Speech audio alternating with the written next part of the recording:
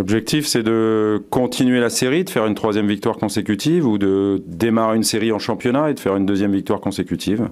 Voilà, on joue contre Toulouse dimanche. On sait que contre Toulouse, c'est toujours des matchs euh, difficiles, accrochés, disputés.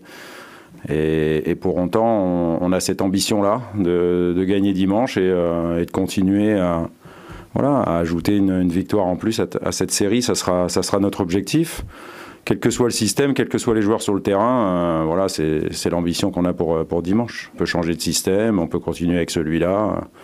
le tout, c'est qu'on gagne les matchs, que l'équipe soit bien équilibrée. Pas que sur le plan défensif, euh, parce que là, on parle beaucoup du plan défensif avec Bouba au milieu et, et, Franck au milieu, mais je vous rappelle qu'on a la meilleure stat d'une équipe à l'extérieur. On a frappé 22 fois au but à Amiens. Alors je crois qu'il y a une équipe qui a fait mieux, c'est 23, mais ils ont joué en supériorité numérique puisqu'il y avait un expulsé en face.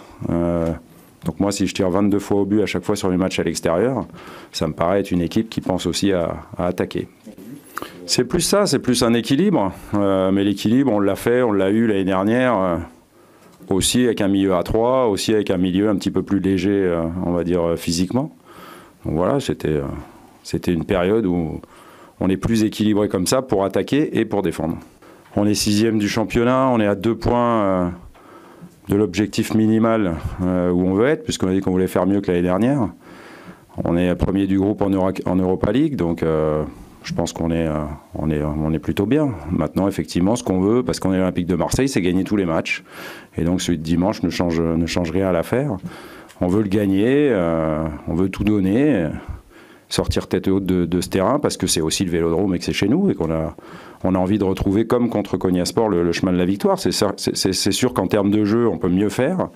Euh, mais encore une fois, euh, on y travaille. Quand les nouveaux seront, plus intégrés, je pense que ça, sera, encore mieux sur le plan du jeu. Nous, on prend les matchs les uns après les autres. Il n'y a pas plus de. Le match, le plus important, c'est toujours le prochain. J'ai dit ça pendant 10 mois, ou 7 mois, ou 8 mois la saison dernière. Je continue à le dire. Le match de Toulouse est le plus important. Et quand on l'aura terminé, ça sera celui de, Salzbourg.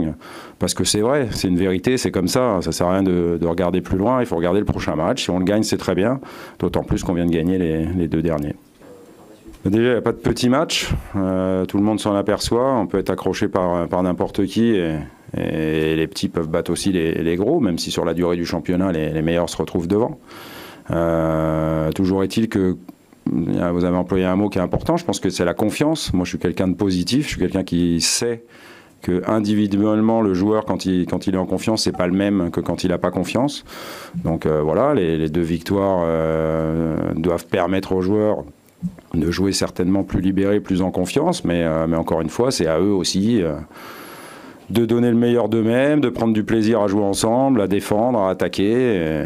Et, puis encore une fois, les, victoires ramènent la, confiance, mais, euh, mais c'est important qu'effectivement, il, y, ait du positivisme et, de la confiance chez, chacun d'entre eux et dans le collectif.